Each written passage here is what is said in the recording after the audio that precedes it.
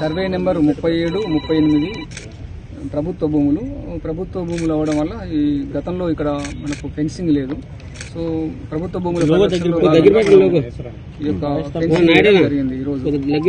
దాదాపుగా మనకు ఇక్కడ ఐదు వందల ఐదు ఎకరాల డెబ్బై రెండు సెంట్ల భూమి మనకు ఈరోజు ఫెన్సింగ్ వేయడం జరిగింది. టోటల్గా మనకు పద్నాలుగు ఎకరాల అరవై ఏడు సెంట్లు మన టోటల్ ఎక్స్టెంట్ అందులో మనకు ఐదు డెబ్బై రెండు మనం ఇప్పుడు ఆల్రెడీ ఫెన్సింగ్ కంప్లీట్ చేసేసాము. రెండో వైపులో గవర్నమెంట్ బౌ- బౌండరీస్ ఉన్నాయి కాబట్టి మనకు అక్కడ ఫెన్సింగ్ అక్కర్లేదు. సబ్సిక్వెంట్గా మనకు పిల్లర్స్ కానీ ఏర్- ఏర్పాటు చేయడం జరుగుతుంది. ఈరోజు ఓన్లీ మనం ప్రభుత్వ భూములు డిమార్కెట్ చేసుకోవడము తర్వాత ప్రభుత్వ భూములకు ఫెన్సింగ్ వేయడం మాత్రమే జరిగింది. గతంలో ఇంత ముందు ఒకసారి ఇలాగే మార్కింగ్ చేశారు కదా సార్? అదేంటి ఇదేంటి? గతంలో భూమిని ఆక్రమణలో ఉన్న భూమిని ఎవిక్షన్ చేశారు. లాంగ్ బ్యాక్ ఎవిక్షన్ చేశారు. ఎవిక్షన్ చేసిన తర్వాత ఫెన్సింగ్ అనేది ఏర్పాటు చేయలేదు గతంలో.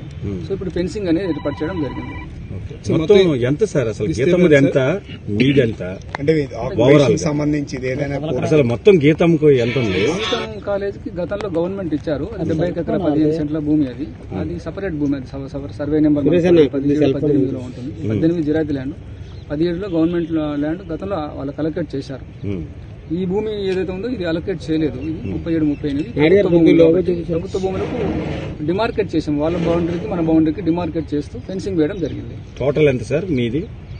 ఇప్పుడు ఇక్కడ వచ్చే ముప్పై ఏడు ముప్పై ఎనిమిది పదిహేడు సర్వే నెంబర్ పద్నాలుగు ఎకరాల అరవై అరవై ఏడు సెంట్లు ఉంది. అందులో మనకు ఏవి ఐదు ఎకరాల డెబ్బై రెండు సెంట్లు ఫెన్సింగ్ వేయడం జరిగింది. అంటే ఒకవైపు ఒకవైపు అంతే. మిగతా వైపు గవర్నమెంట్ ల్యాండ్ ఉంది కాబట్టి. గవర్నమెంట్ ల్యాండ్ మిగతా ల్యాండ్స్ కూడా వేస్తారు సార్. ఇప్పుడు అటువైపు ఉన్న ప్రాంతానికి అది మనకు ప్రస్తుతం కోర్టు పరిశీలనలో ఉంది కాబట్టి మనం వాటి దగ్గర ఎంత ఉంది సార్ కోర్టు పరిశీలనలో? అది ఒక దాదాపుగా ఒక ఫార్టీ ఏకర్స్ వరకు కోర్టు పరిశీలన ఉంది. ఆ, దాంట్లో ప్ర- ప్రస్తుతానికి పద్నాలుగు ఎకరాలు కాకుండా నలభై ఎకరాలు సపరేట్గా ఉంది సార్. అంటే ఇది సపరేట్ అది. ఇప్పుడు పద్నాలుగు ఎకరాలు మొత్తం వేస్తారు సార్. ఆల్రెడీ ఇప్పుడు సార్. ఈ ఇంత ఉదయాన్నే వేయవలసిన పరిస్థితి సార్?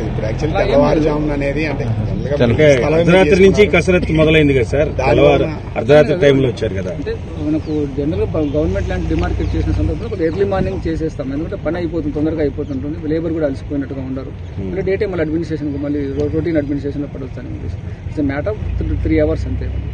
ఈ మీ- కంప్లీట్ అయిపోయింది సార్? కంప్లీట్ అయిపోయింది కంప్లీట్ మళ్ళీ అయిపోయింది ఇంకేమైనా పెండింగ్ ఉన్న తర్వాత మళ్ళీ ఏమైనా వేస్తారు అంటే ప్రస్తుతానికి మాత్రం మనకు అదే జిల్లా కలెక్టర్ ఆదేశాల మేరకు మనం ఇంతవరకు ఎందులో ఏ నిర్మాణాలు ఏమైనా తొలగించడం అలాగా? ఏం లేవు. ఇందులో ఏ నిర్మాణం లేదండి ఇందులో. ప్రభుత్వ ఏ ఎలాంటి నిర్మాణాలు లేవు.